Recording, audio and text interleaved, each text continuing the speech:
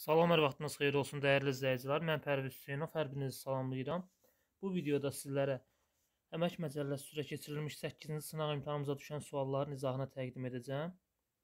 Həmişəki qayda ilə çox vaxtınızı almadan keçmək istəyirəm birinci test tapşırığımıza. Deməli, birinci test tapşırığında işçilərin əmək kitabçasının forması və onun tərtibi qaydaları hansı orqan tərəfindən təsdiq edilib işə götürənə verilir. Bildiyimiz kimi, əmək məcəlləsinin 87-ci maddəsinin 4-cü hissəsində qeyd edilir ki, əmək kitabçasının tərtibi qaydası müvafiq icra hakimiyyəti orqanı tərəfindən. Orada müvafiq icra hakimiyyəti orqanı qeyd etdikdə tam açıqlaması ilə desək, Əmək və Əhalinin Sosial Müdafiəsi Nazirliyi tərəfindən həyata keçirilir. A-da var Maliyyə Nazirliyi, Əmək və Əhalinin Sosial Müdafiəsi Nazirliyi, vergilər, Dövlət Sosial Müdafiə Fondu, bildiyimiz kimi düzgün cavab variantımız B variantı. Azərbaycan Respublikasının Əmək və Əhalinin Sosial Müdafiəsi Nazirliyi. Keçidə ikinci test tapşırığımıza. İkinci test tapşırığında xarici ölkədə işləmiş Azərbaycan Respublikası vətəndaşının əmək kitabçasında onun xarici ölkədəki əmək fəaliyyəti ilə bağlı qeydlər e, kim tərəfindən aparılır? E, yoldaşlar, bu test tapşırığımız 2020-ci ildə e, attestasiya imtahanında istifadə olunub. Bunda daha diqqətli olaq. Deməli, həqiqətən maraqlı sualdır.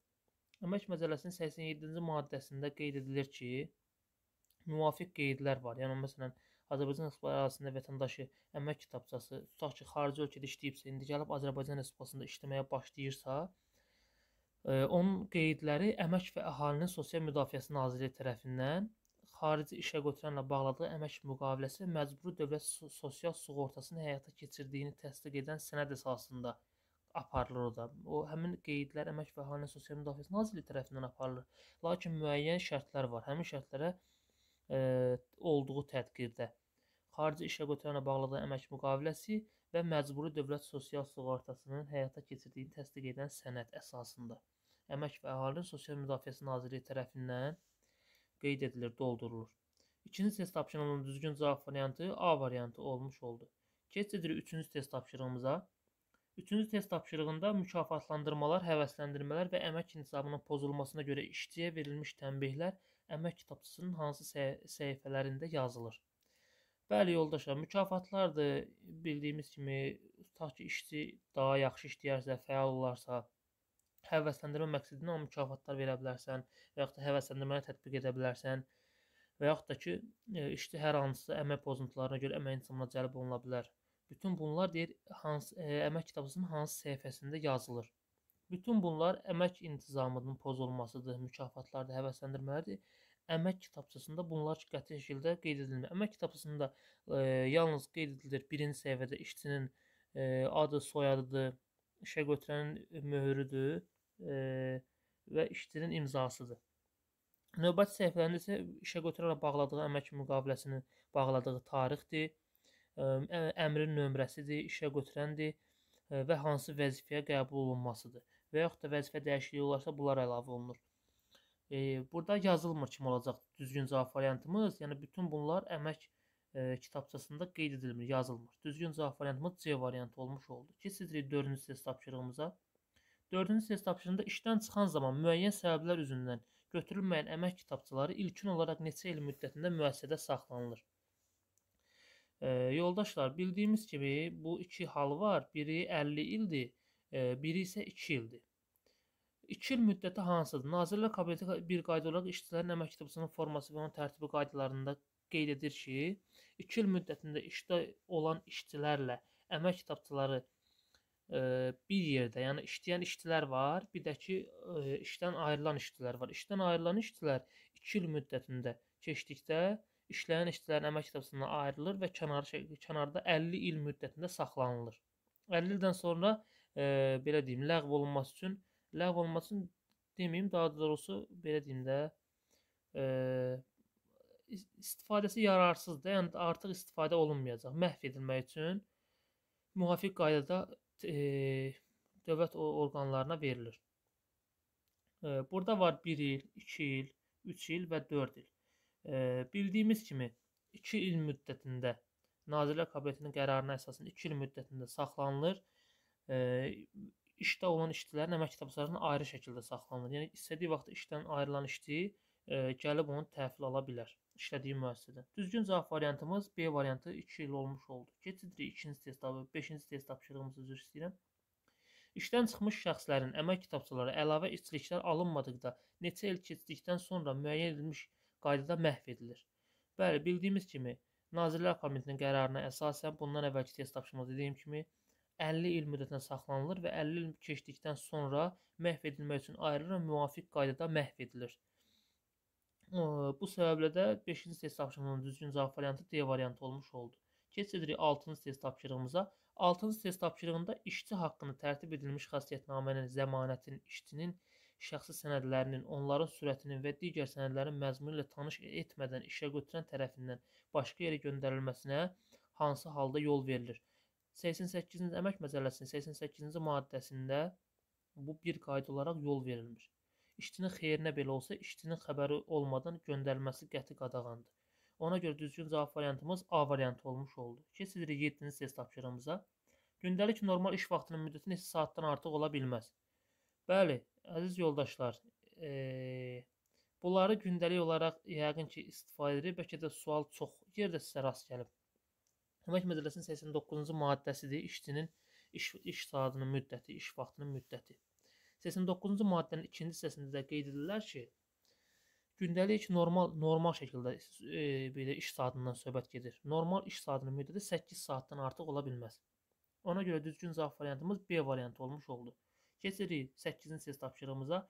8-ci test tapşırığında gündəlik normal iş vaxtına uyğun olan həftəlik normal iş vaxtının müddəti neçə saatdan artıq müəyyən edilə bilməz.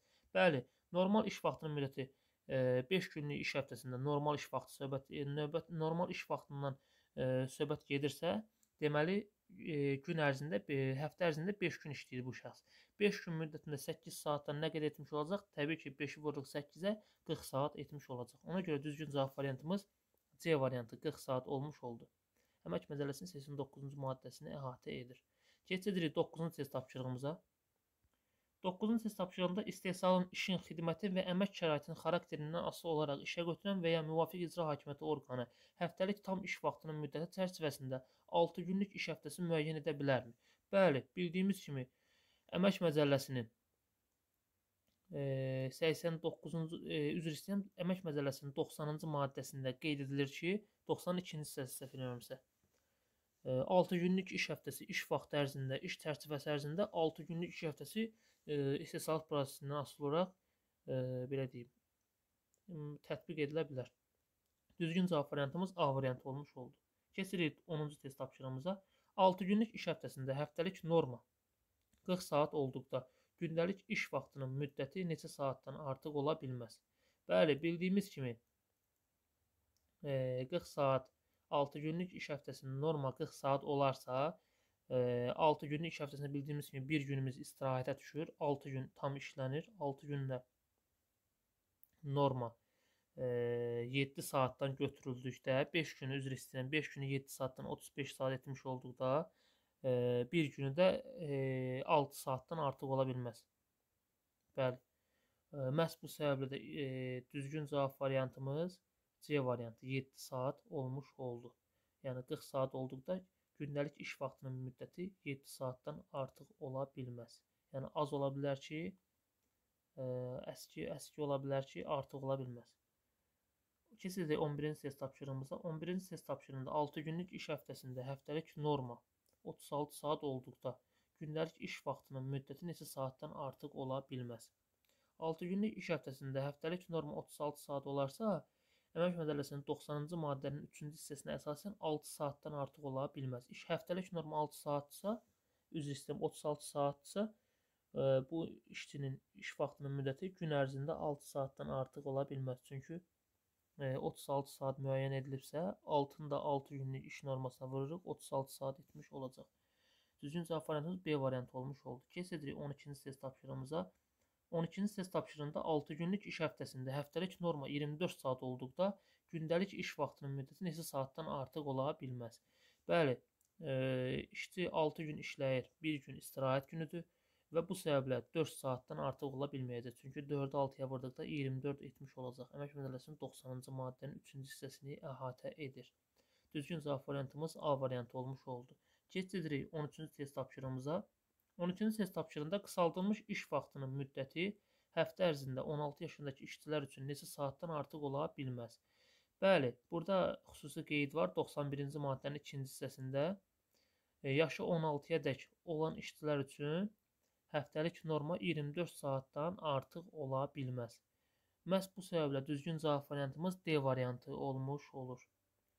Keçidik 14-cü test tapşırığımıza.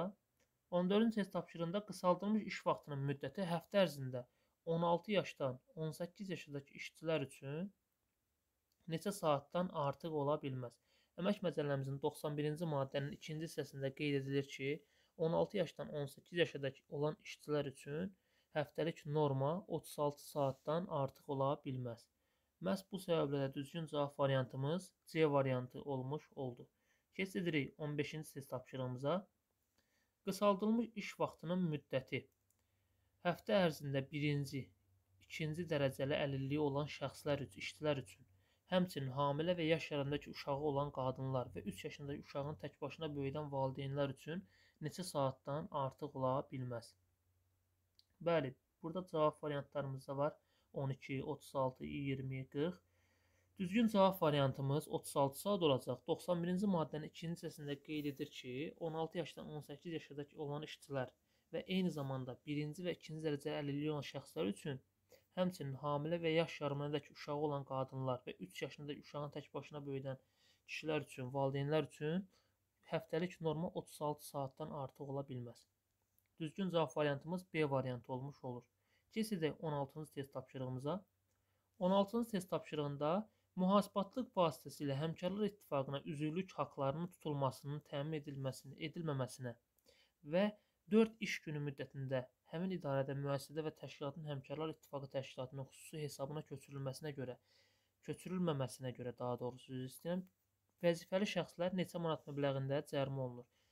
E, İnzibati Xətalar Məcəlləsinin 196-cı maddəsinə əsasən e, Həmkarlar İttifaqından tutulan işçilər tərəf işçilərdən tutulan həmkarlar ittifaqına olan pulun vəsaitin 4 iş günü müddətinə köçürülməsinə görə vəzifəli şəxslər 1000 manatdan 1500 manata qədər cərimə olunur. Ona görə də düzgün cavab variantımız 16-cı 16-cı test tapşırığımızda A variantı 1000-1500 manat olmuş oldu. Keçirik 17-ci test tapşırığımıza. Əmək şəraiti fiziki, kimyəvi, bioloji və ha belə insanın sağlamlığı üçün zərərli olan digər ağır istehsalat amilləri mövcud olan əmək şəraiti istehsalatlarda peşə və vəzifələrdə çalışan işçilərə həftə, həftədə neçə saatdan çox olmayan qısaldılmış iş vaxtı müəyyən edilir. Əmək Məcəlləsinin 92-ci maddəsində qeyd edilir ki, istehsalat e, istehsalat sahəsi ağır istehsalat şəraiti olarsa, zərərli, insan həyatı üçün zərərli olduqda 36 saatdan çox olmayan iş saatı müəyyən oluna bilər. Məhz bu səbəblə düzgün cavab variantımız C variantı olmuş oldu. Keçidirik 18-ci test tapşırığımıza. Yüksək həssaslıq, həyəcan, zehni, fiziki və əsəbi gərginlik, ha belə insanın səhhətinə mənfi təsir göstərən digər amillər olan əmək şəraiti iş yerlərində, həkimlər olsun, müəllimlər, burada qeyd edilmişəm, elektrotexniklər qurğulardır, avtomatika mütəxəssislərində əlavə etmək olar bura hətta. Cihazlarda və qanunvericilik nəzərdə tutulan digər iş yerlərində işləyənlərdir yəni həmin o həssas xüsusi həssaslıqdır. Həftə ərzində neçə saatdan çox olmaq şərti ilə qısaldılmış iş vaxtı müəyyən edilir. Bildiyimiz kimi yoldaşlar, Əmək Məcəlləsinin 93-cü maddəsində həftəlik normanı 36 saatdan artıq olmamaq şərti ilə müəyyən edirlər. Məhz burada yüksək həssaslıq, həyəcanlıq, zehnidir, fiziki əsəb gərginliyi ilə işləyənlərin həftəlik norması 36 saatdan artıq ola bilməz. Düzgün cavab variantımız D variantı olmuş oldu. Keçirik 19-cu test tapşırığımıza. 19-cu test tapşırığında saat üzr istəyirəm, saat səhər 22-dən 006-ya qədər olan vaxt gecə vaxtı sayılır. Məhz o səbəblə düzgün cavab variantımız C variantı olmuş oldu. Keçirik 20-ci və sonuncu test tapşırığımıza. E, müvafiq icra hakimiyyəti orqan tərəfindən müəyyən edilmiş əmək şəraiti e, əmək şəraiti müəyyən edilmiş əmək şəraiti ağır və zərərli olan iş yerlərində, ha belə xüsusi xarakterli işlərdə çalışan işçilərin gündəlik iş vaxtının azı yarısı gecə vaxtına düşdükdə iş vaxtına düşən hissənin neçə saatı qısaldılır? E, kimi qeyd edilib burada? Deməli, əmək məcəlləmizin 97-ci maddənin ikinci, ikinci hissəsində qeyd edilir ki, həmin vaxt əgər gecə vaxtına düşərsə, həmin işlədiyi müddətin gecə vaxtına düşərsə, o vaxtdan 1 saat müddət qısaldılacaq. Məhz bəli, 1 saat qısaldılmış hesab olunacaq. 97-ci maddənin 1-ci, 2-ci hissəsində üzr istəyirəm. Məhz bu səbəblə düzgün cavab variantımız A variantı olmuş oldu. Belə yoldaşlar, ümid edirəm ki, bu videoda imtahana düşən sualların izahını verə bilmiş oldum. Düzdür, çox az hissəsindən danışıram. E, sadəcə olaraq, amma ümidvaram ki, nəsə bir fayda vermiş oldum. Videonu izlədiyinizə görə hər birinizə təşəkkür edirəm. Like eləməyi e, və növbəti videonu gözləməyi unutmayın. Sağ olun.